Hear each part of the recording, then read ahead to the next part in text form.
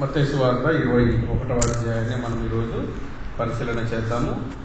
ఈ యొక్క ఇరవై ఒకటవ అధ్యాయంలో చాలా సంగతులు ఉన్నాయి అయినప్పటికీ కూడా మనం క్లుప్తంగా నేర్చుకోవడానికి మనము ప్రయత్నం చేద్దాము.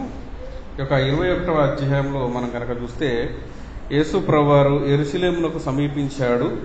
ఎరుసలేమునకు సమీపించినప్పుడు ఆయన తన శిష్యులతో ఈ బేత్పగే అన్నటువంటి గ్రామానికి వచ్చినప్పుడు అక్కడ శిష్యుల ఇద్దరిని పిలిచి ఇది ఈ గ్రామంలోనికి వెళ్ళండి అక్కడ కట్టబడినటువంటి ఒక గాడిద పిల్ల ఉంటుంది అది నాకు కావలసి ఉన్నదని చెప్పి తీసుకురమ్మని పంపినట్టుగా కనబడుతుంది. ఆ విధంగా శిష్యులు వెళ్ళి తమ కాకిన ఆజ్ఞాపించిన దానిని చేసి ఆ గాడిదను దాని పిల్లను తోడుకొని వచ్చినప్పుడు వాటి మీద తమ బట్టలు వేయగా ఆయన వాటి మీద కూర్చున్నాడు. జనసమూహలు అనేకులు దారి పొడుగున బట్టలు పరిచిరి కొమ్మలు నరికి దారి పొడుగున పరిచిరి జనసమూహంలో అందరూ కూడా ఆయనకు ముందుగా వెలుచున్న వారును వెనక వస్తున్నటువంటి వారందరూ కూడా దావీదు కుమారునికి జయము ప్రభు పేరట వచ్చివాడు స్థుతింపబడునుగాక సర్వోన్నతమైన స్థలంలో జయము అని కేకలు వేస్తూ వచ్చారు.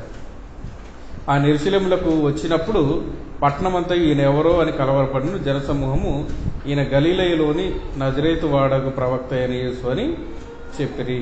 ఇది మొదటగా కనబడుతున్నటువంటి సందర్భం. యేసుప్రభు వారు ఆయన ఎరుసలేములకు సమీపించినప్పుడు ఇక ఇక్కడ నుంచి ఇరవై ఒకటవ అధ్యాయం నుంచి మనం ఏం గమనించగలుగుతామంటే ఆయన ఎరుసలేమునకు వచ్చిన తర్వాత మరణమునకు సిద్ధపడుతూ జరుగుతున్నటువంటి సందర్భాలన్నింటినీ మనము ఇరవై ఒకటవ అధ్యాయం నుంచి కూడా గమనించగలుగుతాం.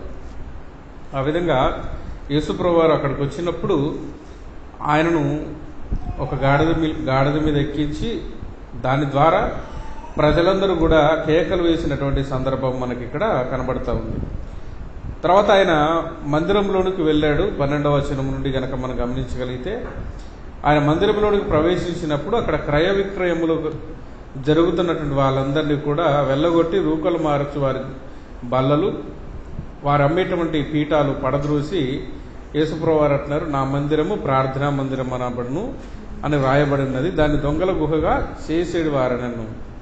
అందుకోసం ఇక్కడ మనం కనుక గమనించగలిగితే ఆ దేవాలయంలో ఉన్నటువంటి ఆ బల్లలన్నిటిని కూడా పడదోసినట్టు కనబడుతుంది. కొన్ని కొన్ని సందర్భాల్లో మనకి ఏం కనబడుతుంది అంటే తాళ్ళను కొరడాలు చేసి తోలినట్టుగా కనబడుతుంది కానీ ఎవరిని కొట్టలేదు. ఆయన ఎవరిని కూడా కొట్టలేదు. ఏం చేశాడు ఆయన? తాళ్ళతో కొరడాలు చేసి ఆ పశువులు ఏవైతున్నాయో వాటిని మాత్రం ఏం చేశాడు? అక్కడి నుంచి తోలివేశాడు. కానీ మనుషులు ఎవరిని కూడా కొట్టలేదు. ఆ విధంగా ఆయన దేవాలయంలోనికి వెళ్ళినప్పుడు ఆ దేవాలయంలో ఉన్నటువంటి వాటన్నిటిని వ్యాపారపు టిల్లుగా చేశారని యేసుప్రభు వారు అక్కడ ఉన్నటువంటి వాళ్ళందరినీ కూడా వెళ్ళగొట్టినట్టుగా మనం గమనించగలుగుతాం. తర్వాత పద్నాలుగు నుండి పదహారు వచనాల్లో గుడ్డివారు కానీ గుడ్డివారు కానీ దేవాలయంలో ఆయన ఎదుకు రాగా వారందరినీ ఆయన స్వస్థపరిచాడు. ప్రధాన యాజకులు శిష్యులు శాస్త్రులు ఆయన చేసినటువంటి వింతలు. దావీదు కుమారునికి జయమని చిన్నపిల్లలు ఆ కేకలు వేస్తుంటే వారి మీద మండిపడినట్టు కనబడుతుంది. అందుకు యేసు అంటున్నాడు బాలుర యొక్క చంటి పిల్లల యొక్క నోట స్తోత్రము సిద్ధింపజేసి తిని అన్నటువంటి మాటను మీరు ఎప్పుడు కూడా చదవలేదా అని చెప్పి ఆ పట్టణాన్ని విడిచి వెళ్ళినట్టుగా మనకి ఇక్కడ కనబడుతుంది. ఇది మూడవ సందర్భం. అనగా ఈ ఎర్సలేము ప్రాంతంలోనే చిన్నపిల్లలు దావిదు కుమారునికి జయమని కేకలు వేసినటువంటి సందర్భాన్ని బట్టి పరిశైలు ప్రధాన యాజకులు శాస్త్రులుగా ఉన్నటువంటి వాళ్ళు అభ్యంతర పడినటువంటి సందర్భాన్ని ఇక్కడ రాయడం జరిగింది. ఉదయము పట్టణమునకు మరణ వెలుచుండగా అంటే ఇక్కడ గమనించగలిగితే ఉదయము పట్టణమునకు వెలుచుండగా అంటే ఆయన ఎక్కడికి వెళ్ళాడు? పదిహేడవ వచనంలో ఆయన పట్టణము విడిచి బయలుదేరి బేతనియా అన్నటువంటి గ్రామానికి వెళ్ళాడు. బేతనియా అనగా ఇక్కడ మరియా మార్త లాజరు ఉన్నటువంటి ఏదైతే స్థలం ఉందో ఆ స్థలము బేతనీయ గ్రామం. ఆ బేతనే గ్రామానికి వెళ్ళి ఉదయముననే ఆయన పట్టణమునకు మరల తిరిగి వెళ్ళుచుండగా త్రోవ పక్కన ఒక అంజూరపు చెట్టును చూడటం జరిగింది. ఆ అంజూరపు చెట్టు దగ్గరికి వచ్చినప్పుడు ఆకులు తప్ప మరి ఏమీ కూడా కనపడలేదు. ఎప్పుడైతే ఆకులు తప్ప ఇంకేమీ కనబడలేదో ఆయన ఆ చెట్టును శపించాడు. ఆ చెట్టు వెంటనే ఎండిపోయింది. శిష్యులు అది చూచి అంజూరపు చెట్టు ఎంత త్వరగా ఎండిపోయిందని చెప్పుకున్నారు. అప్పుడు యేసుప్రభు అన్నారు మీరు విశ్వాసం కలిగి సందేహ పడకుండిన ఎడల అంజూరపు చెట్టు జరిగినటువంటి పరిస్థితే విశ్వాసం లేకుంటే అదే జరుగుతుందని చెప్తూ మీరు ఈ కొండను చూచి నీవు ఎత్తబడి సముద్రంలో పడవేదు అని చెప్పిన ఎట్లా అలాగ జరుగునని చెప్పుచున్నానని చెప్తూ మీరు ప్రార్థన చేయనప్పుడు వీటిని అడుగుతున్నారు వాటిని పొందుకున్నారు అని మీరు నమ్మండి అని చెప్పాడు. ఇది ఒక సందర్భం. నాలుగవది. ఇక ఇరవై మూడు నుంచి మనం కనుక గమనించగలిగితే యేసు వారు దేవాలయంలో బోధిస్తూ ఉండగా ప్రధాన యాజకులు ఆయన దగ్గరకు వచ్చి నువ్వు ఏ అధికారం వలన ఈ కార్యములు చేస్తున్నావు? నీకు ఇచ్చినటువంటి అధికారం ఎవరిచ్చారని అడిగినప్పుడు యేసుప్రభు వారు కూడా ఒక మాట అడిగాడు. ఏమడిగాడంటే నేను అడిగినటువంటి మాటకు మీరు సమాధానం ఇస్తే నేను కూడా చెప్తానని చెప్పి యోగాను ఇచ్చినటువంటి బాప్తిస్మం పరలోకం నుండి కలిగిందా? మనుషుల నుండి కలిగిందా? అన్నప్పుడు వాళ్ళు ఆలోచన చేయడం మొదలుపెట్టారు. ఒకవేళ పరలోకం నుండి కలిగింది అని చెప్పితే మరి అతను ఎందుకు నమ్మలేదు అని అడుగుతారు. లేదు మనుషుల నుండి కలిగిందంటే మనుషులందరూ కూడా యోహాను ప్రవక్త అని నమ్ముతున్నారు కాబట్టి వారికి భయపడి ఉత్తరము ఇవ్వలేదు. అందుకు యేసుప్రభులు కూడా నేను కూడా మీకు చెప్పను అని చెప్పి వెళ్ళినట్టుగా కనబడుతుంది. అప్పుడు ఒక చిన్న ఉపమానం చెప్పాడు ఇక్కడ. ఏం చెప్పాడంటే ఒక మనిషినికి ఇద్దరు కుమారులు ఉన్నారు. ఆ ఇద్దరు కుమారులు ఒక కుమారునికి చెప్పాడు. ఒక కుమారుడికి ద్రాక్ష తోటలో ఒక పని పని చేయమని చెప్పినప్పుడు మొదటివాడు చెప్పినప్పుడు ఏం చేశాడు అతను?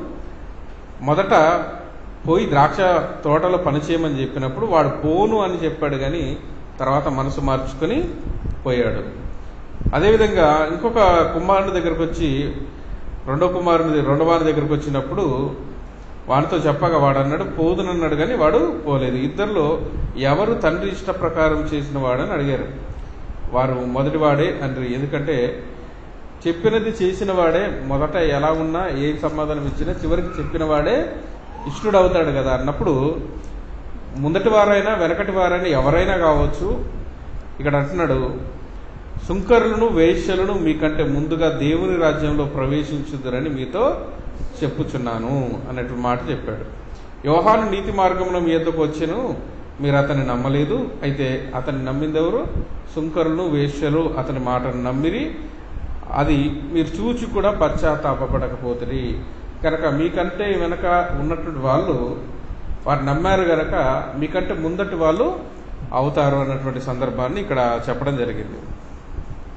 చివరిగా మళ్ళా ఇక్కడ ఇంకొక ఉపమానం కనబడుతుంది. ఏంటిది అని అంటే ఒక యజమానుడు ఉన్నాడు ఒక ద్రాక్ష తోట నాటించి దానికి కావలసినటువంటి కంచె వేయించి అందులో ద్రాక్ష తోటలో తొట్టి ఒకటి గోపురం కట్టించి కాపులకు దానికి గుత్తాకిచ్చి దేశాంతరం పోయాడు. పండ్ల కాలం సమీపించినప్పుడు ఏదైతే ఆ కాపులకు ఇచ్చాడో తన దగ్గర ఈ పంటకు సంబంధించినటువంటి భాగాన్ని తీసుకుంటానికి వచ్చినప్పుడు ఎవరైతే ముందుగా దాసుల్ని పంపాడో ఆ దాసులు పట్టి వాళ్ళు చంపినట్టుగా కనపడుతుంది. తర్వాత మరలా అతడు మునుపటి కంటే ఎక్కువైనటువంటి దాసులను పంపాడు. వాళ్ళు కూడా అదే ప్రకారంగా మరలా చేశారు. తర్వాత నా కుమారుని సన్మానిస్తారనుకొని పంపినప్పుడు వారు ఆ కుమారుని చూచి ఇది ఇతను ఈ కుమారుడికి వారసు ఇతడు వారసుడు గనక ఇతను చంపితే ఇక సమస్త కూడా మనదే అనుకొని ఏం చేశారు? ఆ అతని పట్టుకుని ద్రాక్ష తోట వెలపల పడవేసి చంపిరి. కాబట్టి యజమానుడు వచ్చినప్పుడు కాపులకు ఏం చేస్తాడు? ఆ దుర్మార్గులను సంహరించి వాటి వాటి కాలంలో తమకు పండ్లు చెల్లించినట్లు ఇతర కాపులకు ఆ ద్రాక్ష తోట గుత్తకు ఇచ్చినని చెప్పారు. అందుకోసమే యేసుప్రభు అన్నారు ఇల్లు కట్టువారు నిషేధించిన రాయి మూలకు తలరాయి ఆయను ఇది ప్రభు వల్ల కలిగినటువంటి కార్యము. ఇది కన్నులకు ఆశ్చర్యము అన్నటువంటి మాట చెప్పడం జరిగింది. ఇన్ని విషయాలు చెప్పిన తర్వాత ఆయన చెప్పినట్టు మాట ఏంటంటే ఇదిగో మీ దేవుని రాజ్యము మీ ఇద్దరు నుండి తొలగింపబడి దాని ఫలమిచ్చు జనులకు ఇయ్యబడునని మీతో చెప్పుచున్నాను. రాతి మీద పడువాడు తునకలైపోవును అది ఎవరి మీద పడునో అది నల్లి చేయను. కాబట్టి ప్రధాన యాజకులు పరిచయులు ఆయన చెప్పినటువంటి ఉపమానములు విని తమ్ముడు గురించి చెప్పినని గ్రహించి ఆయన పట్టుకునే సమయం వెతుకుతుండేది కానీ ఆయన ప్రవక్త నించిని గనక ఆయనకు భయపడి ఇక్కడ అన్ని సందర్భాల్లో కూడా మనం గమనించగలిగితే అన్ని కూడా హెచ్చరికలు వ్యతిరేకమైనటువంటి మాటలు లేదంటే యేసుప్రభువారు కూడా చాలా ధైర్యంగా వారిని ఎదుర్కొంటూ మాట్లాడుతున్నట్టుగా మనం ఇక్కడ చూస్తాం. మొదటి సందర్భం వచ్చినప్పుడు అన్ని కూడా వ్యతిరేకతలే కనబడుతున్నాయి ఇక్కడ. మొదటి సందర్భంలో మనకు వ్యతిరేకత ఎక్కడొచ్చింది అంటే ఎక్కడైతే ఆయన ఆ పట్టణంలోనికి వచ్చి జనులందరూ కూడా ఆయనను బట్టి స్తోత్రం చేస్తున్నప్పుడు చిన్నపిల్లలు కూడా స్తోత్రం చేస్తున్నప్పుడు వారిని ఆటంకపరిచేటువంటి ప్రయత్నము చేయటం మొదలుపెట్టారు. ఆ విధంగా ఆ వ్యతిరేకతల మధ్య కూడా ఆయన ముందుకు సాగాడు. తర్వాత దేవాలయంలో కూడా ఆయన ఏం చేశాడు? ఆ దేవాలయంలోనికి వెళ్ళి ఆ వాటన్నిటిని కూడా పడద్రోసి వారిని వెళ్ళగొట్టినట్టుగా కనబడుతుంది. ఇక మూడవ దాంట్లో కూడా మనం చూస్తే ఆ అంజూరపు చెట్టుని శపించినటువంటి సందర్భం కూడా కనబడుతుంది. అదేవిధంగా యోహాను యొక్క బాప్సం గురించి చెప్తూనే మీకంటే ముందుగా దేవుని రాజ్యంలో వీళ్ళు ప్రవేశిస్తారని వాళ్ళకు ఖచ్చితంగా చెప్పాడు. అదేవిధంగా వారికి ఒక ఉపమానం కూడా చెప్పారు. ఏమని చెప్పాడు? ఈ ముందుగా ఎంతో మందిని దేవుడు ప్రవక్తలు పంపుతూ వస్తున్నాడు కానీ ఎంతమంది ప్రవక్తలు అయితే పంపారో వాళ్ళందరినీ కూడా మీరు ఎవరు కూడా అంగీకరించలేదు. చివరికి తన కుమారుని పంపినప్పుడు తన కుమారుని ఏం చేశారు మీరు? సిలువకు అప్పగించారు. కాబట్టి సిలువేసి ఆయన్ని చంపారు. మీరు నిషేధించినటువంటి ఈ రాయిని దేవుడు మూలకు తలరాయిగా చేశాడు అని చెప్తూనే ఈ రాతి ఏదైతే ఉన్నదో అది ఆ రాయి ఎవరు అంటే యేసుక్రీస్తు ప్రభువారు అని చెప్తూ ఒకవేళ ఆ రాతి మీద పడితే ఏమైపోతారట? ముక్కలైపోతారు తునకలైపోతారు. ఒకవేళ ఆ రాయి మీద పడితే అంటే నలి చేయడం అంటే పిండి చేయటం లాంటిది పౌడర్ చేయడం లాంటిది అవుతుంది. అంటే ఈ రాతి మీద పడినా రాతి వాళ్ళ మీద పడినా నలి చేస్తుంది అనేటువంటి విషయాన్ని చెప్తూ ఇక్కడ అన్ని విషయాలు కూడా మనకు హెచ్చరికలు వ్యతిరేకతలు అనేవి మనకి ఇక్కడ కనబడతా ఉన్నాయి. అయితే ఈ యొక్క అధ్యాయంలో మనం వీటన్నిటిని కూడా పరిశీలన చేయాలన్నా ధ్యానం చేయాలన్నా అన్ని కూడా ఒక్కొక్క సపరేట్ సబ్జెక్ట్ లాంటివి. అన్ని కూడా వేరువేరు సబ్జెక్టుల లాంటివి.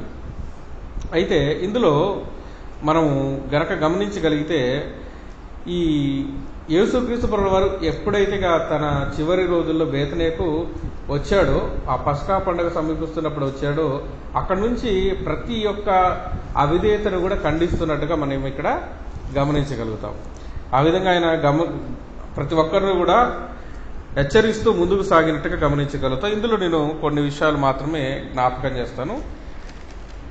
ఇందులో ప్రాముఖ్యంగా మనం గమనించగలిగితే ఇరవై ఒకటో అధ్యాయము పంచెనిమిది నుండి ఉన్నటువంటి ఒక లేఖన భాగం మనకు కనబడుతుంది. అదేంటి అంటే అంజూరపు చెట్టును శపించినటువంటి పరిస్థితి. అయితే ఈ యొక్క అంజూరపు చెట్టును గురించినటువంటి సందర్భంలో మనకి ఏం కనబడుతుందంటే యేసుప్రభు వారు ఆ అంజురపు పండ్లు వెతక వచ్చినప్పుడు వాటికి ఆకులు తప్ప ఏ ఫలాలు కూడా కనిపించినట్టుగా కనబడుతుంది. అంటే దేవుడు ఎప్పుడు పండ్ల వెతక కాలంలో వస్తాడో పండ్లు లేని కాలంలో వస్తాడో ఎవరికి కూడా తెలియదు. తెలియదు గనక ఏ కాలమందైనా సరే మనం ఇక్కడ గమనించగలిగితే యేసు ప్రభును అంగీకరించినటువంటి జనులుగా మొదటి భాగంలో కనబడుతున్నారు. వ్యతిరేకంగా దేవాలయములో ఆ సంగతి ఎరుగక బ్రతుకుతున్న వాళ్ళు కనబడుతున్నారు. అవిశ్వాసంతో కొంతమంది బతుకుతున్నారు. దేవుని రాజ్యాన్ని అంగీకరించక కొంతమంది బతుకుతున్నారు. ఒకవేళ దేవుని రాజ్యాన్ని అంగీకరించమని పంపితే కూడా ఆ కుమారుని చంపి ఆ ద్రాక్ష తోటలో ఆ స్వాస్థాన్ని లేకుండా చేయాలనేటువంటి ప్రయత్నంలో కూడా కొంతమంది కనబడుతున్నారు. ప్రతి ఒక్కరికి కూడా ఒక రకమైనటువంటి సమయం అనేది ఉంది. అది ఎవరికి ఏ సమయమందు దేవుడు పనులు వెతకేటువంటి ప్రయత్నం చేస్తాడో ఎవరికి కూడా తెలియదు కాబట్టి ఆయన వెతక వచ్చినప్పుడు మనం ఫలించేటటువంటి చెట్టులాగానే ఉండాలి. ఉండకపోతే ఖచ్చితంగా మనం చూస్తున్నప్పుడు వారిని తోలివేశాడు ఒక దగ్గర ఏమో కనబడుతుంది. నశించిపోయినట్టుగా కనబడుతుంది. అదేవిధంగా ద్రాక్ష తోట కాపులు అర్థం చేసుకోకపోయినప్పుడు వారు నశించినట్టుగా మనం ఇక్కడ అర్థం చేసుకోగలుగుతాం. కాబట్టి ఇక్కడ ఎప్పుడు దేవుడు మన నుంచి ఫలాలు ఆశిస్తాడో ఎవ్వరికి కూడా తెలియదు. మన ఆయుష్కాలం ఎప్పుడు అనేది మనకు తెలియదు గనక మనకు నేడు అనేటువంటి సమయం ఉండగానే మనం దేవుని రాజ్యమును వెతకాలి. దేవుని రాజ్యంలో పాలి పాలిభాగస్తులు కావాలి. అదేవిధంగా దేవుని రాజ్యంలో మనమందరం కూడా ఫలమిచ్చేటటువంటి చెట్లుగా ఉండాలి. ఎందుకంటే ఇప్పుడు యోహాను ఇచ్చినటువంటి బాప్తిస్మాన్ని అంగీకరించిన వాళ్ళు ఎవరంటే సుంకర్లు వేశ్యలు పాపులు అనబడిన వారు అంగీకరించారు. మిగిలిన వాళ్ళెవరు కూడా అంగీకరించలేదు అని అంటే అర్థం ఏంటి అంటే వాళ్ళు యోహాన్ ఇచ్చినటువంటి బాప్తిస్మాన్ని తిరస్కరించారు నిరాకరించారు తన దేవుడి సంకల్పాన్ని నిరాకరించినట్టుగా కనబడుతుంది. అదేవిధంగా అంజురపు చెట్టును గురించి మనం ఆలోచిస్తున్నప్పుడు అట్టి విశ్వాసం కలిగినటువంటి వాళ్ళలో మరలా ఏం కావాలి? దేవుడు ఎవడు కోరుకుంటున్నాడు? ఫలం ఇచ్చి చెట్టు వలె ఉండాలని కోరుకుంటున్నాడు. ఫలాలు ఉన్నాయా లేదా అని వెతక వచ్చినప్పుడు రక్షణ పొందిన తర్వాత ఆ ఫలాలు మనం దేవుడికి ఇస్తున్నామా లేదా అనేది మనం అక్కడ గ్రహించుకోవాలి. మనం ఎదుగుతున్నామా లేదా అనేది ఫలిస్తున్నామా లేదా అనేది మనల్ని మనం పరిశీలన చేసుకోవాలి. అదేవిధంగా ఎంతమందినైతే వాక్యంతో మనల్ని నడిపించడానికి ముందుకు నడిపిస్తూ దేవుడి రాజ్యానికి చేర్చడానికి ప్రయత్నపడుతున్నారో వారందరి విషయంలో మన ఆలోచన విధానము మన అవిధేయత ఎలా ఉందో ఈ కాపుల విషయంలో కూడా మనం అక్కడ గమనించగలుగుతాం. మొత్తానికి వీటన్నింటిలో కూడా వాళ్ళలో ఏం కనబడుతుందంటే అవిధేయత అనేది చాలా స్పష్టంగా కనబడుతున్నట్టుగా కనబడుతుంది. ఇక మనం ప్రాముఖ్యంగా గమనించగలిగితే వీళ్ళందరూ కూడా ఈ పనులన్నిటిని కూడా చాలా స్పష్టంగా తెలిసే చేసినట్టుగా మనం ఇక్కడ గమనించగలుగుతాం. ఆ దేవాలయంలో ఎవరైతే ఈ వ్యాపారం చేస్తున్నారో ఆ వ్యాపారం చేస్తున్న వారికి ఈ దేవాలయము పరిశుద్ధ స్థలం అని తెలియదా అంటే ఖచ్చితంగా తెలుసు. అదేవిధంగా యోహాను ప్రకటిస్తున్నప్పుడు ఆ యొక్క యోహాను సంకల్పము నిజంగా దేవుడి నుండి కలిగిందని కూడా తెలుసు. కానీ వాళ్ళు ఎందుకు అంగీకరి అంగీకరించలేకపోయారంటే ఈ సుంకర్లు వేశ్యలు ఎవరైతే దేవుని రాజ్యాన్ని అంగీకరిస్తున్నారో వాళ్ళతో మేము సమానము కాము అన్నటువంటి ఒక కారణం చేత వీళ్ళు యోహాను యోహాను ఇచ్చేటువంటి బాప్స్మాన్ని అంగీకరించినప్పటికీ కూడా వారు పొందుకున్న విధానాన్ని బట్టి వీళ్ళు తిరస్కరించినట్టుగా కనబడుతుంది.